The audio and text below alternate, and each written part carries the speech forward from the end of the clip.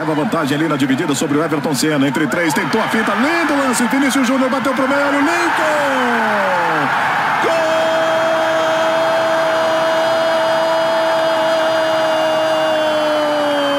do Flamengo!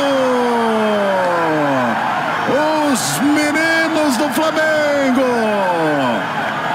Jogadaça de Vinícius Júnior! Lincoln pelo meio! A base do Flamengo para levantar. Bola na esquerda, René no fundo, cruzamento, Lincoln!